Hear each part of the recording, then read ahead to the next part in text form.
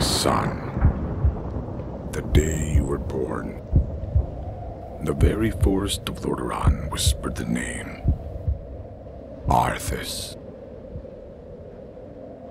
My child, I watched with pride as you grew into a weapon of righteousness. Remember, our line has always ruled with wisdom and strength, and I know you will show restraint when exercising your great power. But the truest victory, my son, is stirring the hearts of your people.